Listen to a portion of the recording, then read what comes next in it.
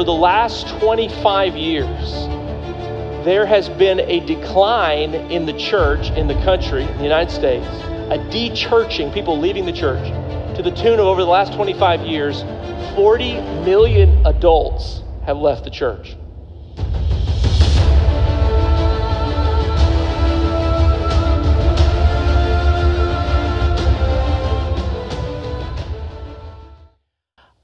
Right, we today are going to finish this series called Christianity in Crisis. And you know, the, the statistics are kind of rich out there with this big study that was done this past year, largest study that was ever done, that showed this incredible phenomenon in the country in which people are leaving the church and have been for the last 25 years. 40 million adults have left.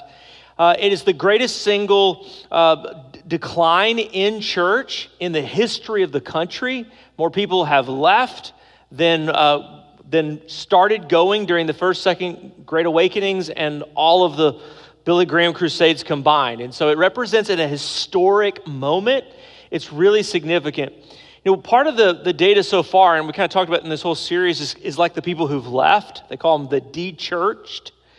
But there's also other data that's saying some things that are kind of maybe even more alarming, if you can imagine that which is to say that there is a projection right now that over the next 35 years that youths people 16 and older are going to leave the church to the tune of 35 million people. A million youths a year are expected to be leaving over the next 35 years.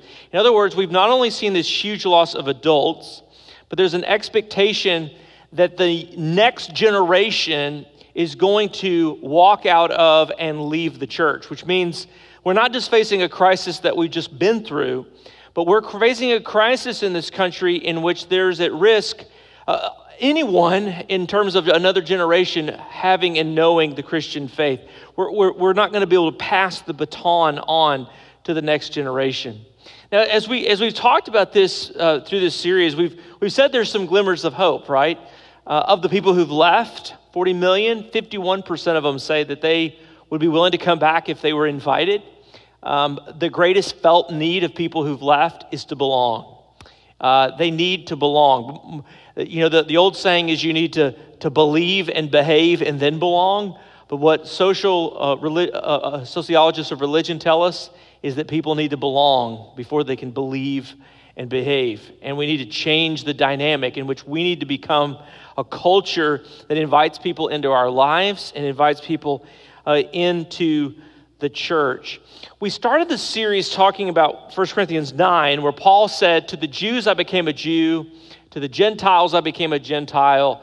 Uh, he says, To all people I became all things, uh, to win as many as possible. Uh, he says he was basically willing to do whatever it takes to reach people for Jesus. And so, the goal of the church in this generation, the challenge of the church in this generation, is are we willing to do whatever it takes to reach people for Jesus? Anything short of sin to reach people for Christ. The, the research, the researchers say that the only way we're going to change the, the trajectory is if the church is willing to pivot. If the church is willing to change. In other words, we're facing a crisis not only of what is happening, but a crisis of direction in terms of where the church and people within the church are responding to it. One of the biggest challenges, though, is the individual Christians. You know, I, through the series, I've talked about how the, I gave kind of the Brennan Manning quote, you know, the famous one where he says, The greatest single cause of atheism in the world today is Christians who acknowledge Jesus with their lips and walk out the door and deny him by their lifestyle, it is uh, what an unbelieving world simply finds unbelievable. In other words, Brennan's message there is, Manning's message there is like, like I, I like your, as Gandhi said, I like your Christ. I just, not your Christians because they don't look like your Christ. And what our world is longing for are authentic people, good people, uh, caring people, loving people people who look and sound and talk and act like Jesus. Jesus was not particularly religious, he was particularly loving and deeply devoted to the will and purpose of his Father.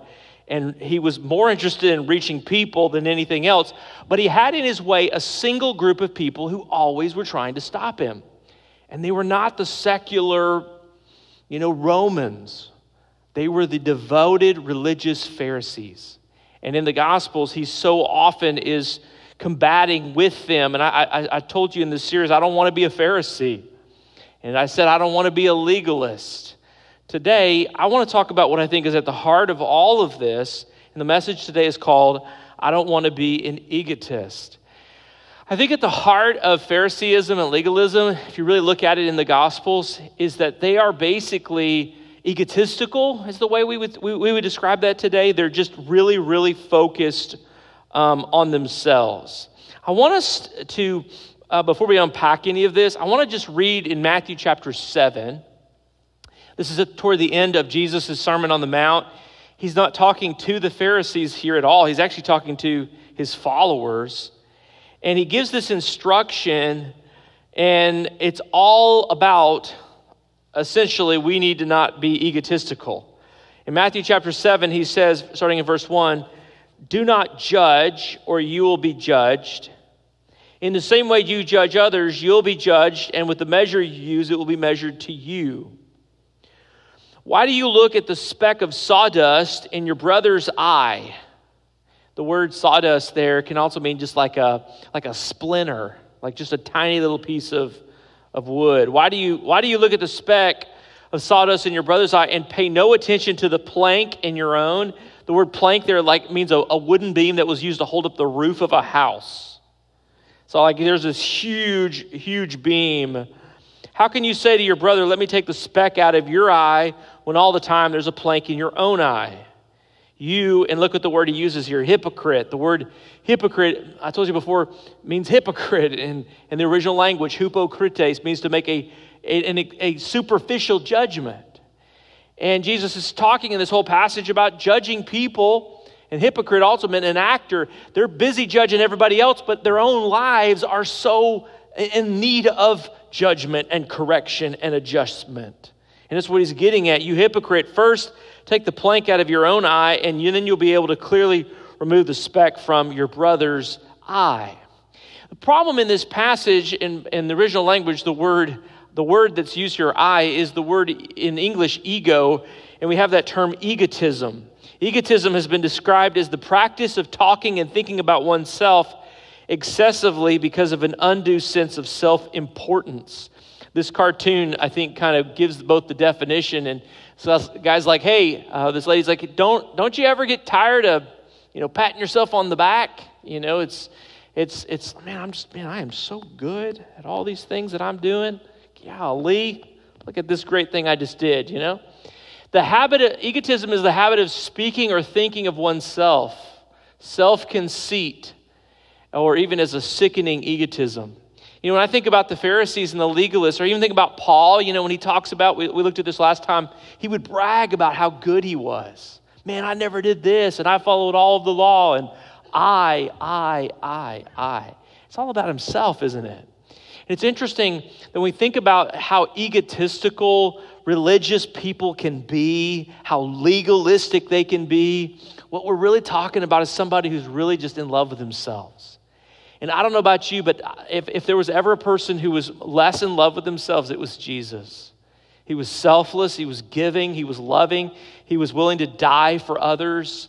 And he said, If you want to be my follower, you have to deny yourself, take up your cross, and follow me.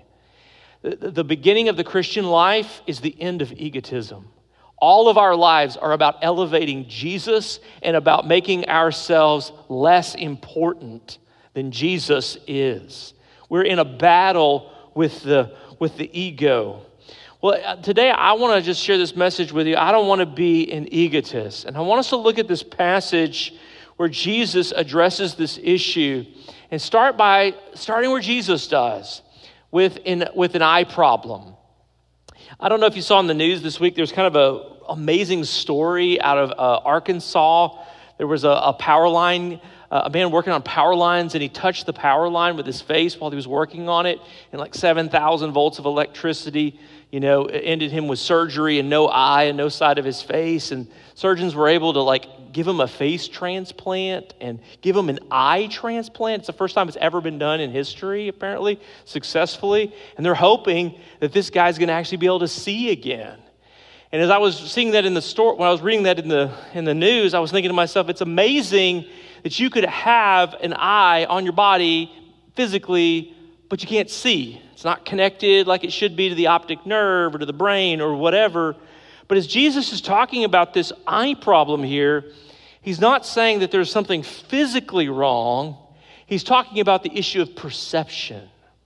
You and I might be able to see fine, but we are not seeing things the way that we should be seeing them. Um, when I uh, when I was growing up, I, I, I, say this all the time, and I just I don't know, it's just it's just true that I did not grow up going to church, but I did grow up watching church every weekend, every Sunday. A local pastor uh, of a church in East Texas where I grew up, in, in, in Tyler at Green Acres Baptist Church, he did his sermons were on television.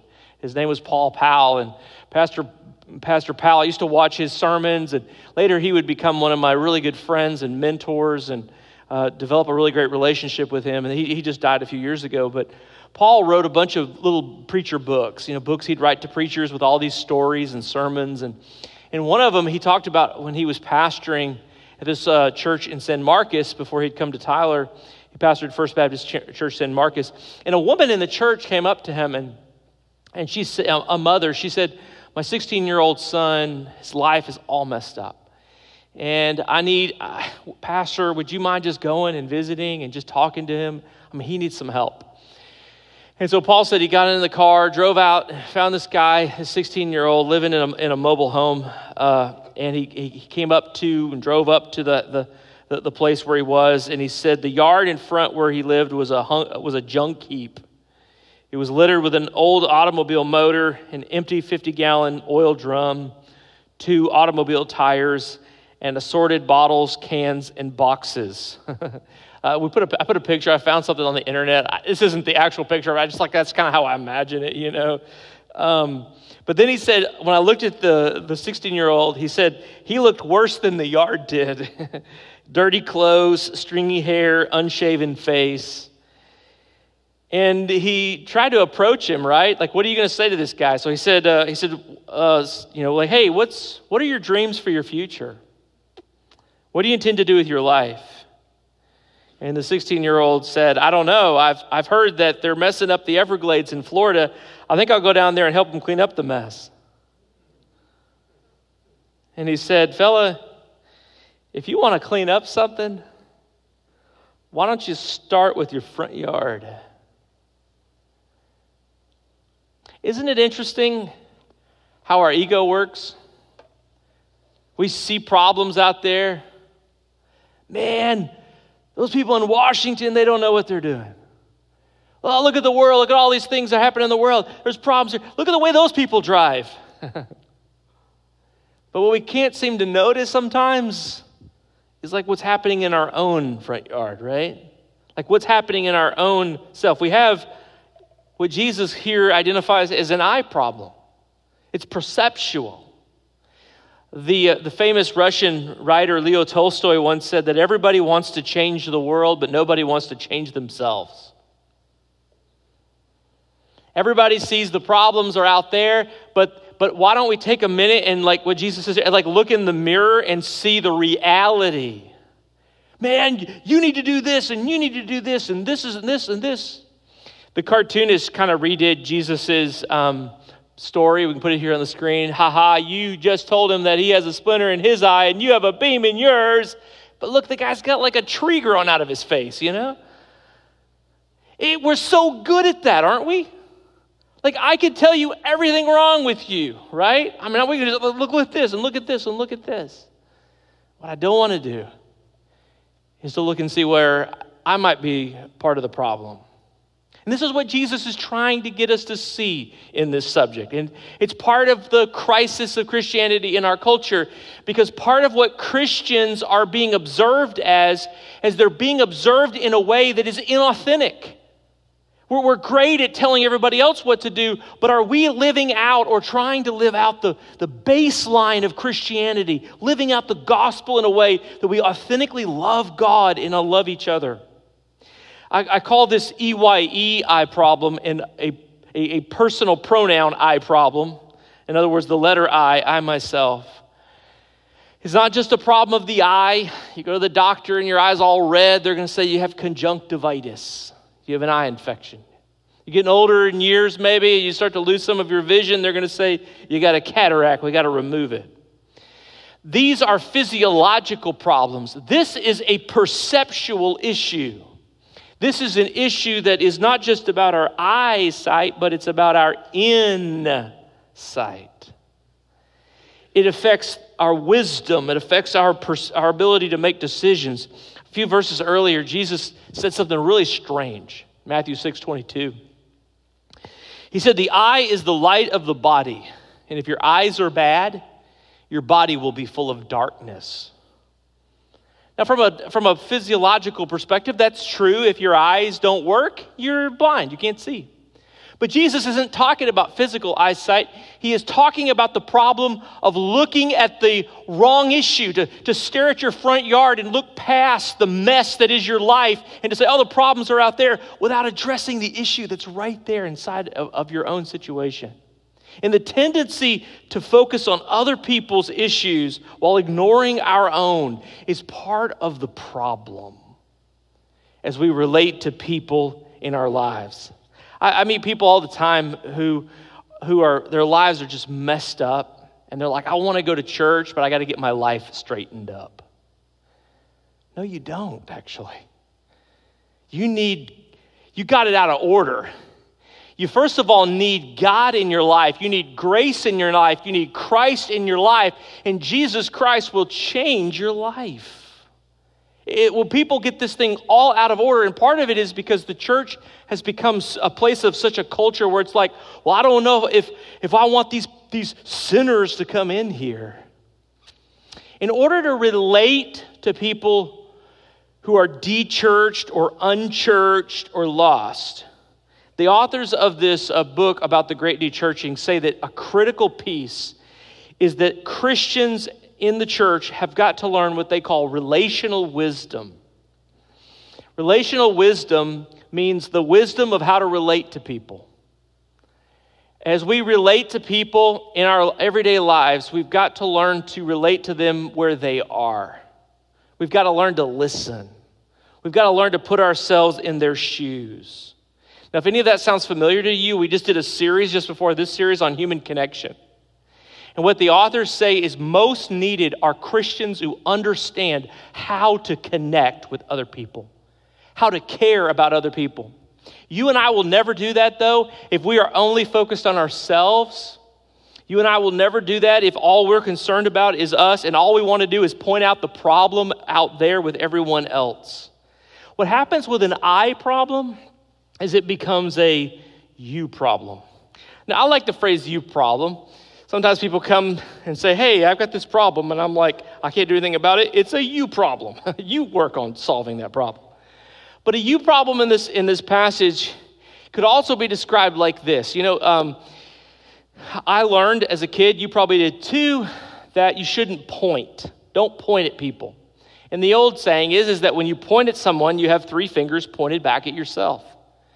Now, the, the, the, the, the, saying about pointing is actually true because the reality, based on what Jesus is saying in this passage, is that as I tend to focus on others, the chances are really high that I'm not noticing all the ways that I am not doing the things that I should be doing. That the real issues are being overlooked for me. Sigmund Freud is one of the fathers of modern psychology. He, of course, was not a Christian, but Freud was a keen observer. And one of the things that Freud said was that much of what we do wrong as human beings is a reaction to our ego. It's that Greek word for I, it's the personal pronoun. Ego, ego in Greek is how you pronounce it. We get the word egotism or egotistical. Freud's idea was that, that if you really studied human behavior, everyone is trying to protect their ego. They'll do anything they can to protect the ego. One of the things that people like to do, he says, is they'll deny that there even is a problem, even though the elephant is in the middle of the room and everyone else can see it. It's like the guy who has the trash in his front yard but wants to go and fix the Everglades. The problem is right there, but because of our ego, we don't want to acknowledge the actual issue we need to address. We would rather try to divert attention to some other issue or some other problem. The problem is really out there. The prophets of the Old Testament were told by God to go to a, a, a generation of people and tell them the truth. The prophets Isaiah and Ezekiel had messages like this one. This is Ezekiel 12 2. God said to Ezekiel, Son of man, you're living among a rebellious people. They have eyes to see, but they don't see. They have ears to hear, but they don't hear. They are a rebellious people. Wait a minute, hold on a second. Who's Ezekiel talking to? Is he talking to the secular pagan society? No. These are the people of God. This is the nation of God. This is the nation that's been won by God and saved by God and, and covenanted with God a relationship. These are God's people, but God's people don't see, he says. God's people don't hear, God, God says. They have a, an eye problem that's become a, a you problem. They are spiritually blind to what the real issues are. Uh, years and years and years ago, over there in what is now the most populated country in the world. We call it today India. Uh, 1.4 billion people live in India. There is a, a very, very famous parable out of India that an American author by the name of John Godfrey Saxe rewrote in a po- into a poem in the 1800s. The, the poem is called The Blind Men and the Elephant. And I love the, uh, the story. I don't know if you've heard it before, probably you have but it's an imaginary encounter uh, in, which in which six highly educated blind Indian men uh, c- come in contact with an elephant for the very first time. And as they're making their, their encounter with the elephant, they are each only able to touch a different part of the animal. And the poet writes, It was six men of Hindustan, to learning much inclined, who went to see the elephant, though all of them were blind, that each by observation might satisfy the mind. And the first approached the elephant, happening to fall against its broad and sturdy side, and at once began to bawl, Bless me, it seems the elephant is very much like a wall. And you feel the side of an elephant, it kind of feels like that, right? The second feeling of his, of his tusk cried, Ha! What have we here? So very round and smooth and sharp, tis to me, it's mighty clear. This wonder of an elephant is very much like a spear. And the third approached the animal, and happening to take the squirming trunk within his hands, and boldly spake, I see, quoth he. The elephant is like a snake. The fourth reached out his hand and felt about the knee. What most this wondrous beast is like is mighty plain, quoth he, that 'tis clear enough the elephant is like a tree. The fifth, who chanced to touch the ears, said, Even the blindest man can tell what this resembles most. Deny the fact who can. This marvel of an elephant is like a fan. And then the last guy, the sixth, no sooner had begun about the beast to grope than seizing on the swinging tail that fell within his scope. I see, quoth he, the elephant is very like a rope. And so these men of Hindustan disputed loud and long, each in his own opinion, exceeding stiff and strong. Though each was partly in the right, all were in the wrong. Incredible moment. The poet's not done yet, though. He adds this closing. So often in theologic wars, the disputants, I ween, rail on in utter ignorance of what each other mean, and prayed about an elephant not one of them has seen. It's interesting what the American author did with that old story. He made it about the church. Not uh, six blind men feeling about an elephant, each of them absolutely convinced that they had the elephant figured out. But the elephant was in the middle of the room and they couldn't see. So often, the modern American church has found itself in the middle of some ridiculous controversy or in the middle of some theologic war, as he put it, while the world is going to hell, while our neighbors are lost, and while the young generation is walking out the church, and an entire 40 million have already left. We've entered crisis in Christianity, and so many people are busy walking about like blind men in Hindustan. In other words, this I problem that's become a you problem, in Jesus' language here, has become a big problem. And it needs to be addressed for what it is. Sometime in my uh, early childhood, I started losing some of my eyesight. Some of you probably had the same experience where you couldn't see as well from a distance or whatever. When I got into high school, I started wearing contacts. My vision really got worse and worse throughout much, much of my life. They, every time I'd go in, they'd make my prescription stronger and stronger and stronger. And finally, the doctor said, You know, you're a good candidate for eye surgery. You ought to go to get LASIK done. A few years ago, I went and got my eyes surgically redone.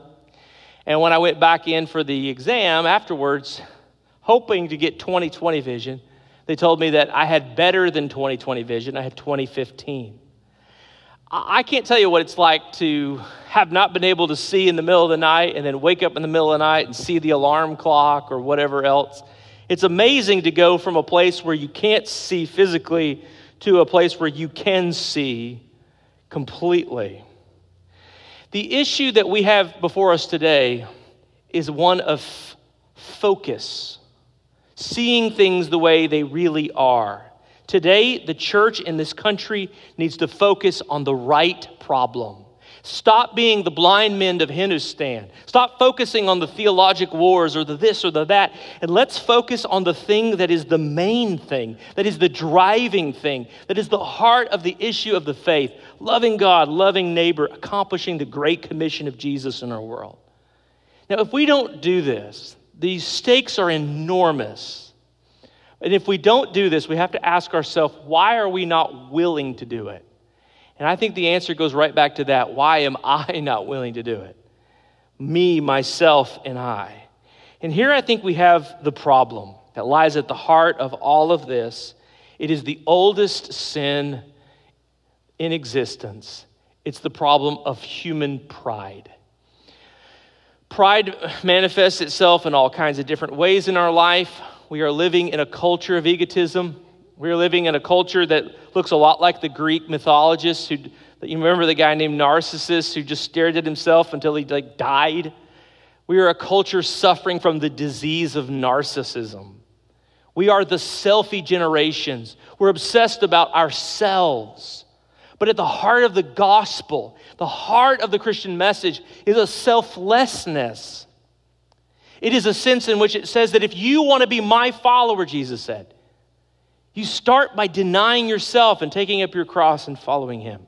At the heart of the gospel is a sense of selflessness, and that God showed us what love is, and that he was willing to send his own son to die for us. That Jesus was so selfless that he would embody this for us. If we do not take this on, then we are at the end of the day guilty of the sin of pride.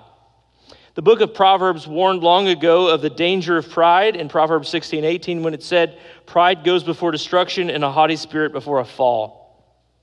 Every time I read that passage, I always think of that story of the, the frog that lived in the dried up swamp and asked the birds to fly him out to greener pastures and wetter ponds. And the bird said, We can't do that. And the frog said, I have a great idea. I'll put a stick in my mouth and you put it in your beaks and we will fly away. And sure enough, it worked. You can see the frog flying away, and the farmer looks up and says, Wow, that is awesome. I wonder who came up with that idea. And the frog says, I did. Choo, splat. He just couldn't keep his mouth shut, right? He couldn't resist the temptation to say, I did it. We are living in a culture that so much wants to make it about ourselves, and we are serving a God who tells us at the beginning of following Him is about making it not about ourselves. It's never been about us, and it's always been about Him. And when we embrace that way of living, we are following Christ. And what this unbelieving world is longing to see is they're longing to see people who look like Jesus, selfless like Jesus. So, if I can finish this series, I want to say these things. I want to say that how we treat people matters to God, how we love our neighbors. And the, our neighbors are not the people who live next to us, by the way. Go read the story of the parable, this, go read the, the Good Samaritan parable. The Good Samaritan were, the, were, were not the neighbors of the Jews who lived next door, they were the hated enemies. Who is your neighbor is probably somebody right now you don't even like. They're probably somebody you don't even want to be around. But to love your neighbor, to love your enemy, to love the person that you don't even like is to embrace the very heart and character of God. And this world desperately needs people who will do that. The second thing I, I wrote down is hypocritical Phariseeism. The pretending to be religious while on the inside really not really caring that much about God or other people is keeping people from the kingdom of God. And then finally, I want to ask you are you personally ready to do what Paul said in 1 Corinthians 9, which is whatever it takes to win people for Jesus? Are you prepared to do whatever it takes to win people for Jesus to the point that you yourself are willing to change?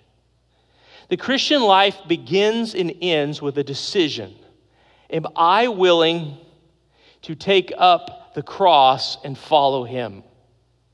Am I willing to deny myself and what I want and to embrace what Jesus Christ has called me to? The Christian life is a life of discipleship. Dietrich Bonhoeffer says that when God calls a man, he bids him come and die. But the thing is, is that when we die to ourselves, Paul says in Galatians 2:20, I have been crucified with Christ, nevertheless, not I, but Christ lives within me. We begin to find new life that really matters. And I want to invite you and, and I today to contemplate what it would mean for us in this crisis of our culture, in this crisis of our country, in, in the crisis of Christianity in our world. Would we be a part of the solution and not be the problem? Let's pray together. Father, we just humble ourselves before you today underneath your mighty hand, and we acknowledge that our world is in desperate need, but God, that the solution requires for us to become who you've called us to be, who you've invited us to be, who you've died for us to become to become like you, to follow you, to embrace the values that you valued most, which was a deep commitment to the Father and a loving relationship with other people. God, as we contemplate the situation in the country and the world today, as we see never ending wars and never ending violence, as we see uh, the, the smartest intellectuals, the most influential politicians, incapable of solving our world's problems. We look to you today, God, as the Savior, as the, salute, as the solution. And Lord, we know that the problem is not going to be found in our ability to assert ourselves or to elevate ourselves but in our willingness to serve and humble before your mighty hand and lift up the name of Jesus Christ in this generation, to model and live out the value of who Jesus was in our lives. God, we desperately need Christians, real Christians, authentic Christians, Christians who acknowledge the imperfection of their life and not pretend to be better than everybody else. Christians who are humble enough, loving enough to invite people that we don't even like. Like one author said, God, uh, Christianity is one beggar showing another beggar just where to find a piece of bread. And our world is hungry, spiritually hungry for life that can be found only in Jesus Christ. Lord, may this generation, may this moment, may this situation be the turning point in a positive direction. God, may it be the tipping point of you doing something new and powerful and profound. And Lord, if it doesn't start anywhere else, let it start here. Let it start in this room. Let it start in us personally with revival happening in our own hearts and our own lives today. That God, that you would do it through us as we just get out of the way. I pray, God, that you would move through the power of your Spirit in this message, in this church, in this community. I pray in Jesus' name. Amen. Will you stand with me this morning? We're going to continue to worship. This is a time of our invitation, time of prayer, and you're invited to come and pray. I'll be here at the front if God's moving in your heart today in some way to come. After the service, as always, I'll be out here in the hallway, and if you'd like to make some decision or join the church or have some questions about something, I'd love to talk with you. However, God is speaking to your heart today, my prayer for you and me is for us to get out of the way and just live out the authentic Christian life for this generation, for our neighbors, for our world. Desperately needs to hear it and definitely needs to see it. You come as the Lord leads you.